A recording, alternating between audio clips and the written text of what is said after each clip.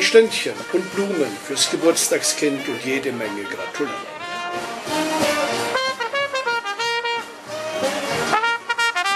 Presserummel zum 40-jährigen Bestehen des Fechtclubs Bischofsheim. Mit dabei der Bruder der Trainerlegende Emil Beck.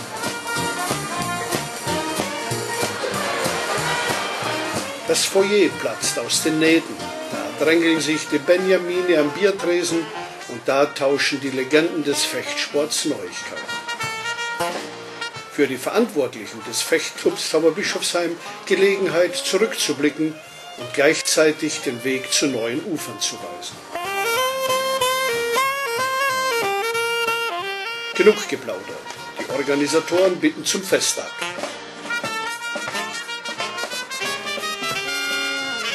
Ehrengäste aus Wirtschaft, Politik und Sport in der ersten Reihe, für alle 1000 Besucher aber ein Programm. Im Rückblick die Fechtlektion, die Emil Beck zur Legende gemacht hat. Nachsitzen, Ausball.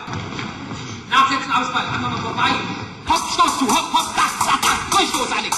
Hopp. Sehr schön. Gelungener Diegel, ne? Gelungen. Erinnerungen an damals beim Dinner danach.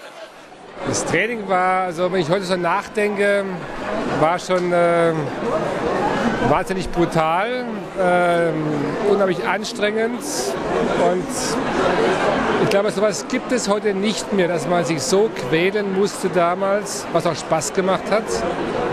Äh, die Woche fünfmal, teilweise am Tag vier, fünf Stunden zu trainieren, Wettkampflektionen zu machen. Und äh, unser Emil, der war ja nicht, nicht, ein bisschen beleibt, aber so schnell der Bursche und so aggressiv, unglaublich.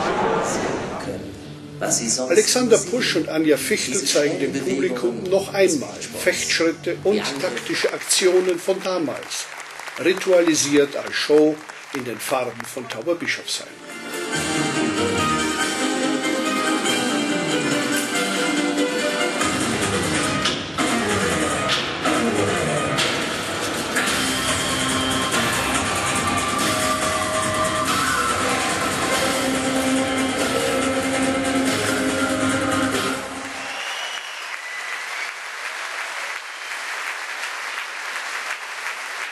Festredner überbringen die Glückwünsche ihrer Organisationen. Der Bürgermeister von Tauberbischofsheim, die Ehrenpräsidentin des Deutschen Fechterbundes, der Vertreter der Landesregierung, der Vizepräsident des IOC. Thomas Bach übergibt an den Präsidenten des Fechtclubs Tauberbischofsheim das Geburtstagsgeschenk. Dankeschön, Thomas Bach, natürlich auch der Präsident. Dann Ordensverleihung durch den Präsidenten. Erst an die früheren Präsidenten, dann an die Damen und Herren der ersten Stunde. Da war Alexander Pusch noch nicht an der Reihe, erst als die Medaillengewinner geehrt wurden. Hat aus Würzburg einen Athleten hier mit dabei haben, eine Fotografin unten. Sie alle hatten ihre sportliche Karriere einem Mann zu verdanken, Emil Beck. An sein Beispiel soll der Emil Beck Gedächtnispreis erinnern. Er wird an Personen verliehen, die sich um den Fechtsport verdient gemacht haben. Der Höhepunkt der Geburtstagsfeier, eine Fechtvorführung. Die Ehrenpräsidentin des DFB sieht das neue Tauberbischofsheim auf der Bühne. Ein Bild mit Symbolcharakter. Nicht mehr eine Person steht im Vordergrund, sondern das Team.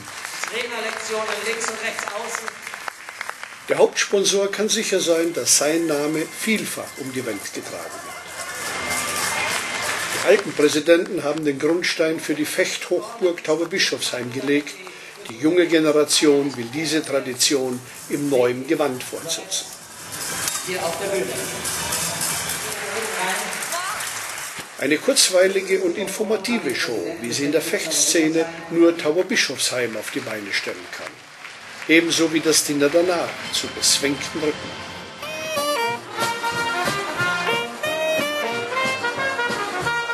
Hauptgesprächsthema der Wandel des FC von der Einzelperson zum Team. Also ich habe ich hab zwar unter, aber nicht mit ihm trainiert. Ich hatte ja ihn nie direkt als Trainer Aber er war einfach ähm, damals die treibende Kraft, ganz klar. Derjenige, der ähm, über alles mit Argusaugen gewacht hat.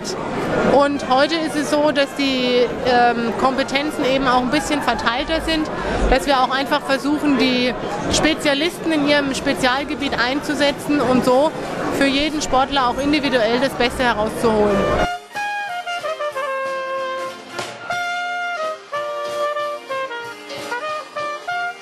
Eine Entwicklung, die sich in der Sportwelt bereits herumgesprochen hat. Dennoch, Beck bleibt weiterhin vor. Äh, solche Typen äh, fehlen immer. Davon kann es eigentlich äh, gar nicht äh, genug geben.